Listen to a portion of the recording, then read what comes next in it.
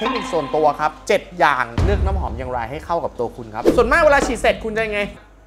ผิดนะครับ วิธีการนี้ให้คุณงอกระดาษเลยงออย่างนี้ มันยังไม่โดนจมูกคุณเห็นปะใช้ลมหายใจของคุณอะใส่มันเข้าไปเว้ย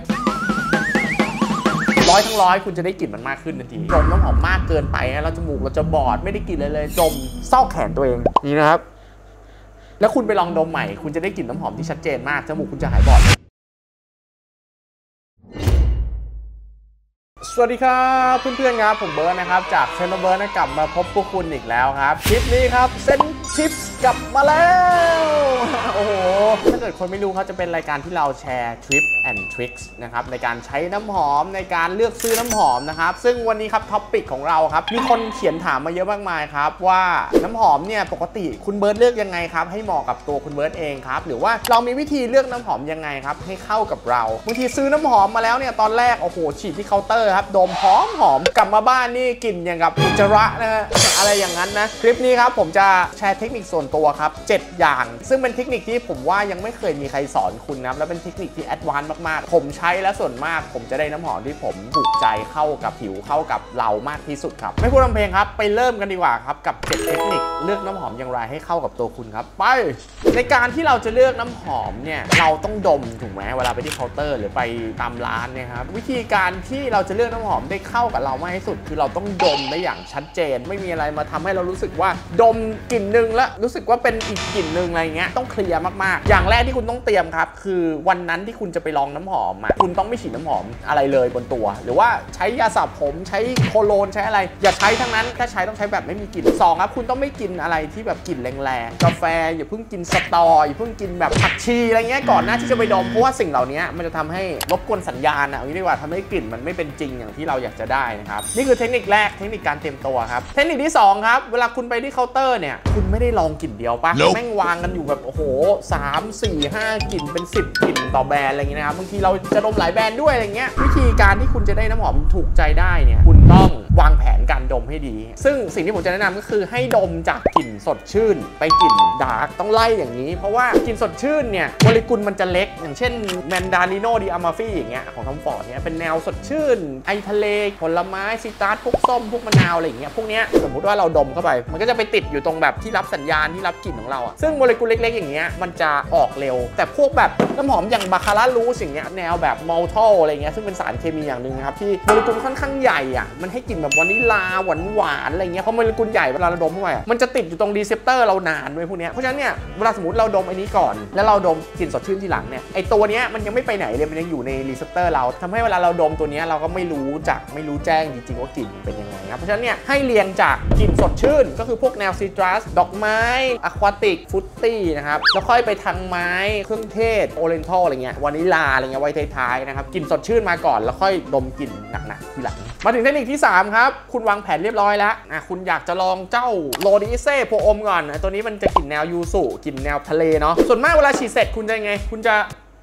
เคยสังเกตป่าว่าการทำแบบนี้ฉีดเสร็จแล้วดมเลยอะไอกระดาษเนี่ยมันชอบมาโดนจมูกเรา ซึ่งผิดนะครับวิธีการนี้การที่จมูกเราไปแตะกับกระดาษไอโมเลกุลน้ำหอมที่เราลองเนี่ยมันไปติดอยู่ตรงจมูกเราเว้ยแล้วเราจะไปลองคีสอเวนตัสต่ออย่างเงี้ยกลายเป็นว่าพอเราดมคีสอเวนตัสปั๊บเนี่ยเอ้ยทำไมมันกลิ่นมีความเค็มมีความยูสุมาอยู่เลยวะเพราะว่ามันติดอยู่ปลายจมูกเราไงมันปนกันไงเพราะฉะนั้นเนี่ยวิธีถูกต้องนะครับฉีดปั๊บ แล้วให้คุณงอกระดาษเลยงออย่างนี้อ่างอแบบให้มันเป็นอย่างเงี้ยซึ่งการงอทำไมต้องงอครับเหตุผลแรกคือเวลาคุณดมอะมันจะหลบจมูกคุณเว้ย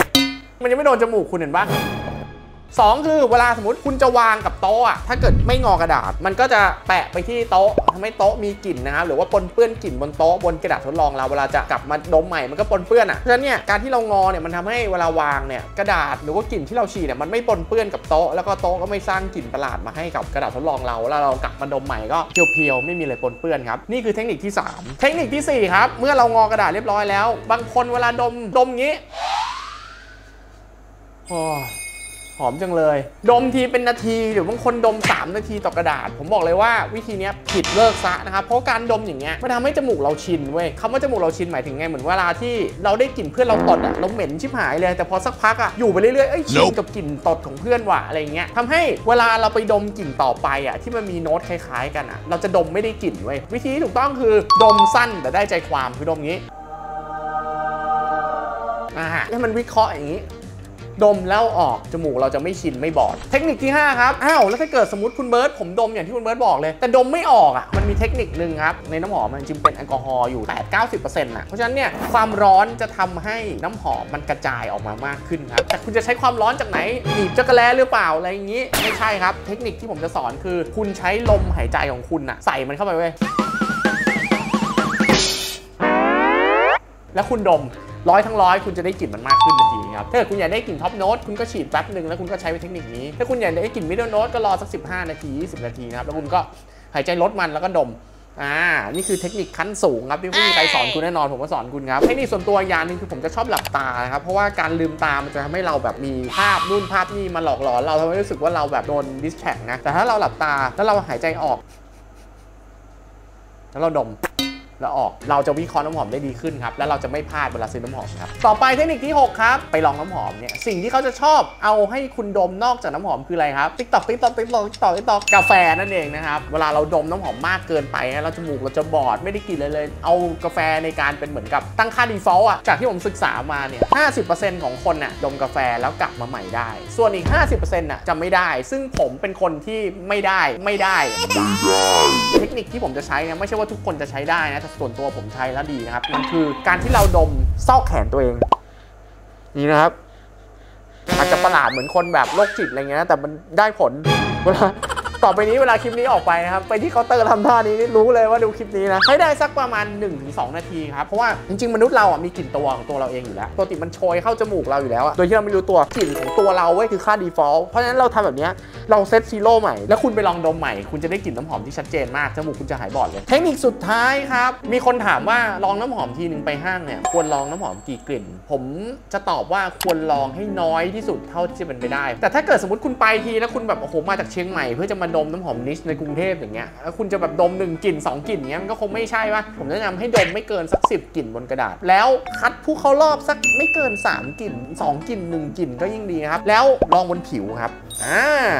เพราะว่าอะไรต้องลองบนผิว คือกระดาษเนี่ยมันเป็นสิ่งที่ไม่ได้มีความร้อนเหมือนผิวร่างกายเรา เพราะฉะนั้นเนี่ยน้ำหอมมันมีท็อปมิดเดิลเบสง่ายๆเหมือนขนมชั้นน่ะมีซ้อนๆกันอยู่หลายชั้นนะครับเพราะฉะนั้นเนี่ยถ้าเกิดคุณฉีดบนกระดาษแล้วคุณดมอะคุณจะได้กลิ่นชั้นบนสุดของมัน มันจะมีชั้นกลางชั้นล่างที่คุณยังไม่ได้กลิ่นน้ำหอมมันมีวัตถุดิบเยอะนะมีเป็นร้อยๆเลย ซึ่งผิวของเราอะมันจะทำให้ชั้นกลางชั้นล่างมันโผล่มาได้ง่ายขึ้นนะครับและอย่างที่สำคัญมากๆคือมันจะไม่รู้น้ำหอมตัวเนี้ยเข้ากับผิวแล้วติดทนไหมด้วยครับเพราะฉะนั้นเนี่ยลองที่ผิวครับแต่ถ้าเกิดคุณลองเยอะแบบเอาแม่งกระแลหนึ่งนี่หนึ่งง่ามขาสองอะไรเงี้ยคือมันก็จะตีกันไปตีกันมา คุณก็จะไม่ได้กลิ่นที่จริงๆเพราะฉะนั้นเนี่ยผมแนะนำให้ลองน้อยที่สุดนะครับนี่ครับคือ 7 เทคนิคที่จะทำให้คุณเนี่ยลองน้ำหอมได้อย่างไม่พลาดและได้น้ำหอมที่ติดทนเข้ากับผิวคุณเข้ากับบุคลิกคุณเข้ากับความชอบของคุณครับจะทำให้คุณซื้อน้ำหอมมาแล้วไม่มีการโยนทิ้งไม่ใช้แน่นอนครับวันนี้แชร์กันอย่างแบบ ไม่มีกั๊กอะปล่อยกันหมดนะครับเพราะฉะนั้นเนี่ยถ้าเกิดใครชอบคลิปสไตล์นี้ครับฝากติดตามครับช่อง YouTube c e n t e r b i r d ครับเป็นกำลังใจให้ผมหน่อยครับกด Subscribe อย่าลืมกดกระดิ่งครับเพราะการกดกระดิ่งเนี่ยมันจะทำให้คุณรู้ว่าผมออกคลิปใหม่เพราะมันจะมี notification ไปบอกเลยว่าไอ้เบิร์ดออกคลิปแล้วครับไม่ต้องมานั่งดูว่ามันออกหรือยังนะครับแล้วก็